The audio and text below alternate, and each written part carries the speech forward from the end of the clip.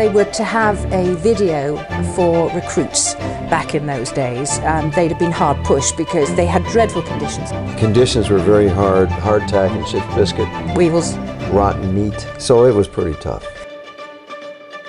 They would start a very long journey and it would be a barrel of beer and a barrel of water. And they'd drink the beer first because that would go sour, and then they'd hit the water and then that would be stale. So there were very little options for fluid aboard. And then, of course, rum came along. And it had marvelous keeping properties. It's about 1730s that they brought in the rum ration. Well, they were tanked out twice a day. In those days, they got a half a pint twice daily. Yeah.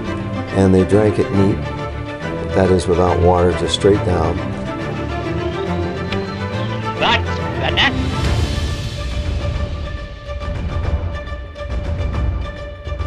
All the ship stores controlled by the purser, and the colloquial is the pusser. So they called it pusser's rum. And to say to someone, hey, it's pusser's, means it's very good, even today. The drink was issued at six bells in the forenoon watch, or 11 a.m., and was marked by the call Up spirit! Up spirit. Up spirits. Up spirit. Up spirit! Up spirit. Up spirits. Up spirit! Up spirits. So here's to you, all the old salts, and a happy 50th Black Tot Day.